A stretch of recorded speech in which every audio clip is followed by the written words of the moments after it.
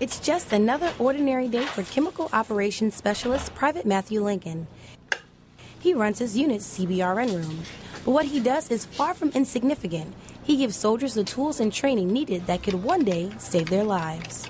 The training that I provide makes sure that the soldiers are equipped and ready just in case they go to a deployment and they come in contact with CBRN, they can actually be confident in what they know.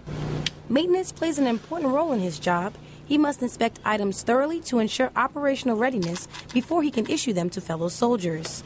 Uh, the gear that he maintains is critical to our mission. Uh, we can't do anything as medics if we can't function in a, in a full capacity.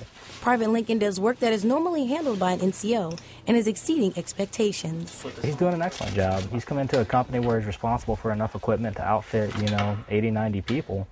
And as a PFC, he's uh, standing in for a sergeant's position. So he's uh, doing extremely well for someone in his, you know, his time in service and rank. In the two years that Private Lincoln has been doing his job, he's prepared numerous soldiers for CBRN attacks, and for him, that's a good feeling personally, makes me feel good to know that the soldier is ready and is fit to go on the battlefield and is confident in what I've taught them.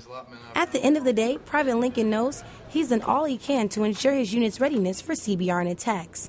And that's something the soldiers of the 560th Medical Company can rest easy knowing. I'm Specialist Dion Moses, Camp Stanley, Korea.